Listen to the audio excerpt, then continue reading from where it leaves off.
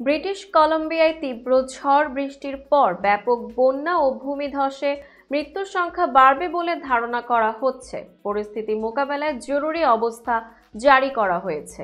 বুধবার দেশটির কেন্দ্রীয় সরকার বড় ধরনের সহায়তার প্রতিশ্রুতি দিয়েছে বলেও জানা গেছে। প্রবল বৃষ্টি ও ভূমিধসে বহু সড়ক মারাত্মক ক্ষতিগ্রস্ত হওয়ায় পার্বত্য অঞ্চলীয় বেশ কয়েকটি ছোট শহর বিচ্ছিন্ন হয়ে পড়েছে। এ পর্যন্ত তিনজন নিখোঁজ রয়েছেন। কর্তৃপক্ষ একজনের মৃত্যুর কথা নিশ্চিত করলেও সংখ্যাটি আরও বাড়বে বলে মনে করা হচ্ছে। হাজার হাজার গবাদি পশুও মারা গেছে।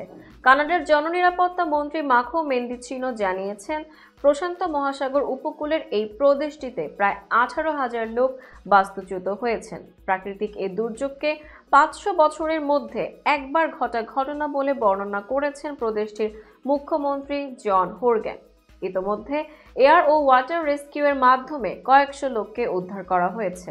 আরও লোকজন সরিয়ে নেয়ার জন্য তিনশো কানাডিয়ান সশস্ত্র বাহিনীর একটি প্রাথমিক দল ব্রিটিশ কলম্বিয়াতে মোতায়েন করা হচ্ছে। ব্রিটিশ কলম্বিয়ার বর্তমান পরিস্থিতির পরিপ্রেক্ষিতে কানাডায় তাদের বাসস্থানে পৌঁছানোর জন্য মার্কিন যুক্তরাষ্ট্রের মধ্যে দিয়ে ট্রানজিট করা ভ্রমণকারীদের কানাডায় প্রবেশের আগে কোভিড নাইন্টিন টেস্ট কানাডায় কোভিড টেস্ট এবং কোয়ারেন্টাইনের প্রয়োজনীয়তা থেকে অব্যাহতি দেওয়া হয়েছে।